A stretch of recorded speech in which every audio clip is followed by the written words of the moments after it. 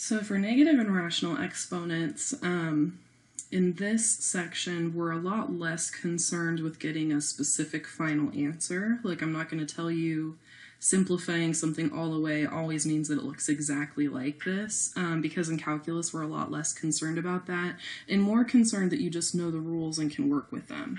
So I will often be asking you to, um, in the course, get your answers simplified in kind of a certain way, not because that's the right way and that's the way you have to do it, but because that's maybe the way that shows up in a lot of multiple choice answers, and maybe that's the hardest way of simplifying it or something. So that's a skill that I want you to have. But then also knowing that in free response questions, you can choose not to simplify it and your answer is still equally correct. So, and that's something you'll start to learn in upper level mathematics is that um, equivalent answers get the same amount of credit, whether or not they've been simplified completely, which is kind of nice, but also kind of frustrating, I guess. Um, if you like to know that the answer is the same every time. So the instructions for these examples are just going to say simplify.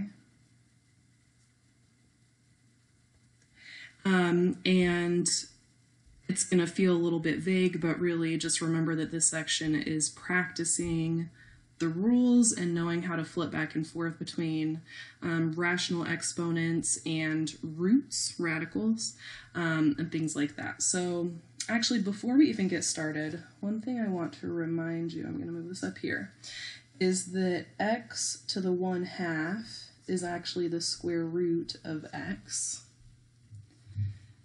x to the 1 third is actually the cube root of x. And if I were to write something like x to the 3 halves, I would say that's the square root of x to the third. Or I could also say that is the square root of x raised to the third power. So in the course, I will not consistently be using one or the other. I'll do whichever one is easiest in that particular problem. So at this point, we get a lot more flexible with how we do our algebra because we do whatever needs to be done to make the problem easier for us. All right, so for the first example, we're going to be simplifying 5x to the third over y squared, and this is going to be to the negative third power. So if you guys recall your exponential rules, when you have an exponent raised to another exponent, you just need to multiply them together. So this 5 does not have the exponent of 3, it actually has its own exponent of 1. So what I'm going to do first is I'm just going to take this exponent on the outside and I'm going to multiply it by all the exponents on the inside. So I've got 5 to the negative third, x to the negative ninth, over y to the negative sixth. And then if you guys recall your exponential rules, whenever you have a negative exponent, um, it really just means it needs to be on the other side of the fraction. And so I'm going to rewrite this as 5 to the positive third, x to the positive ninth, y to the positive sixth. Right? Um, now here you could leave it like this. This is a good answer. Um, 5 to the third is 125, I believe. Let me double check. Yep. So I'm going to go ahead and write this as y to the sixth over 125 x to the ninth. Uh, and I'm just going to leave it like that. Right, example number two. Negative 32x to the negative fifth to the negative 3 fifths power. Um, and there's a couple different ways you can work with this. So, and I guess there was a couple different ways we could have worked with that first one. Like, I chose to uh, multiply the exponents first, and then I chose to kind of flip it, is how I think of it we could have um, used the negative of this exponent and just inverted this and kind of left the 3 out there but put the y squared on top and put the 5 and the x to the third on the bottom. Knowing that that's what that negative was going to do it's kind of up to you. Um, so that the approach I used here I might not use here just because um, I think the fact that this is negative is messing with me a little bit because it looks different. So what I'm actually going to do this time is I'm going to think of this already as a fraction because I know that's what negative exponents kind of do. And so I'm going to put a 1 on the top, and I'm going to write this as negative 32x to the negative fifth to the 3 fifths. So if you can see, all that I did is I wrote this as a fraction, I put this stuff on the bottom.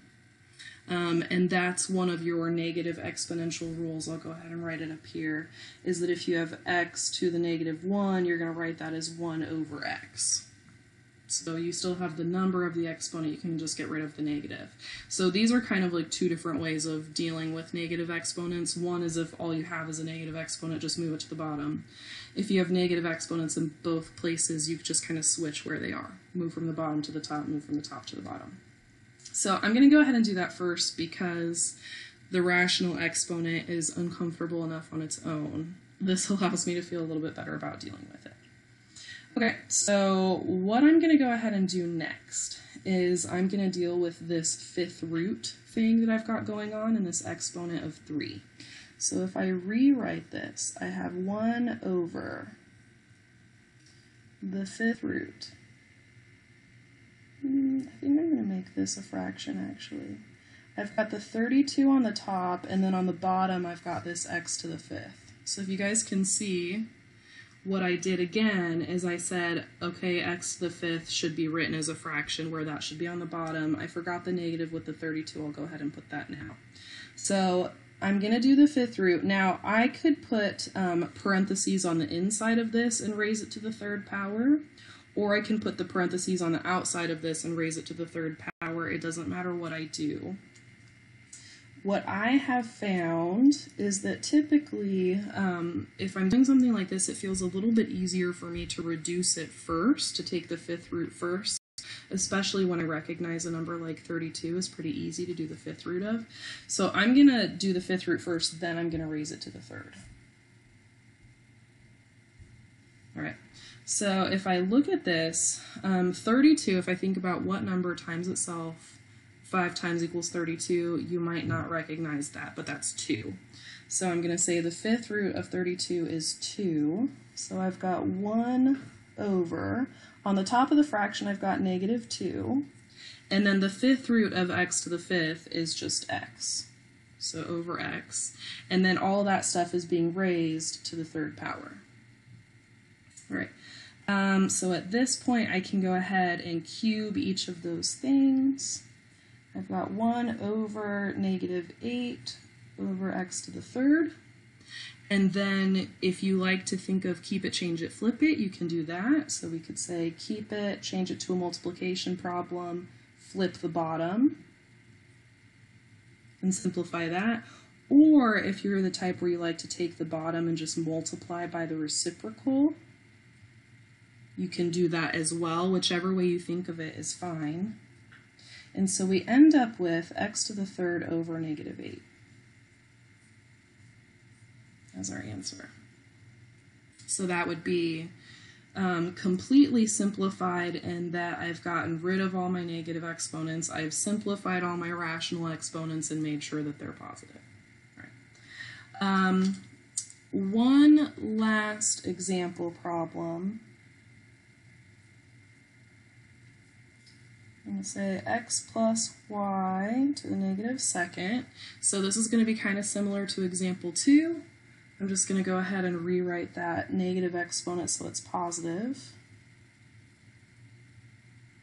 Um, very common for students here to want to distribute that too, and you can't do that. It's not like example number one. The difference up here is that with example one, this was a multiplication problem, right? Five times x to the third. Um, you can distribute exponents there. As soon as you have addition or subtraction, you can no longer distribute your exponent.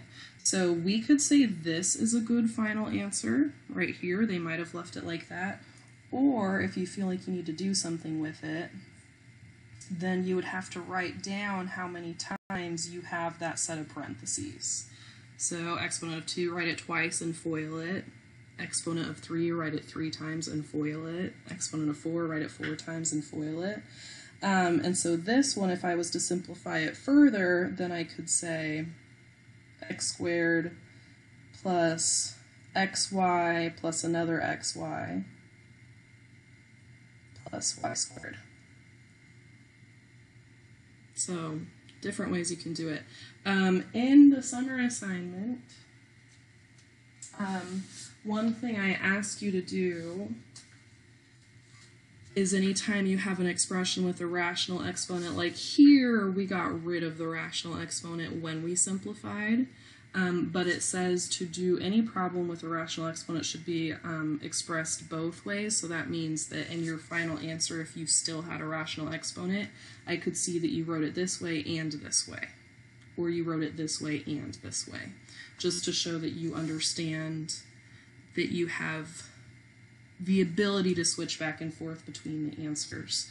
Um, so we'll go ahead and do one on the page just so you can see like exactly what I mean by that. So for example, with this one right here, um, we can go ahead and get rid of that negative by putting 1 over this. So 4x squared minus 12x plus 9 to the positive 1 half. So that is us. That is a good final answer. You can't distribute that 1 half. You can't square root, square root, square root. That's not possible.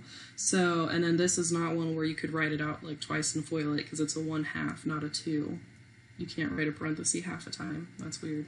So this is a good final answer. That's the um, rational exponent. And then if we wanted to write it as a radical, then we could say 4x squared minus 12x plus 9. Just leave it as a square root. Now we could get even a little bit crazier than this if we wanted to rationalize this problem. And what I mean by rationalize is to not leave a radical on the bottom. Then to rationalize this problem, you have to multiply by that radical on the top and the bottom. So if you guys recall, um, probably in trig and pre-calc, if you had like 1 over root 2, and you needed to rationalize that. I'm go ahead and I'll show you this one. We'll make this one example four.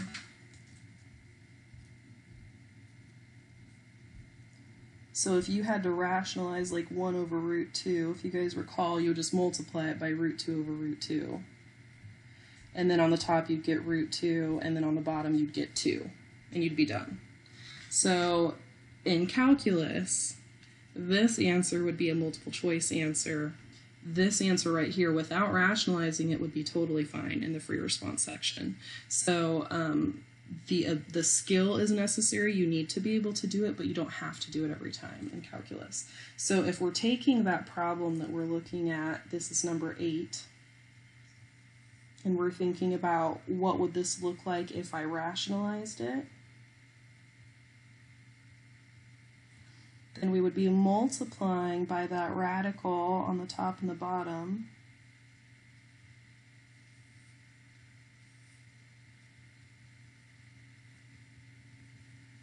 And it would be the exact same problem, it just looks terrible. So a terrible looking version of that. So the square root times 1 is just the square root, and then down here, when you multiply those two square roots together, they cancel each other out and you just get 4x squared minus 12x plus 9. Um, I have not seen in calculus somebody take something like this and simplify it, but I have seen problems where this process was involved in getting a common denominator that helped you simplify the problem and be able to work with it. So this is a skill set you would need to have. So when you're working on the packet, it would be good if you had an answer like this to rationalize it. But this is what I meant in the instructions when I said write it both with the rational exponent and with a radical. That's what I meant.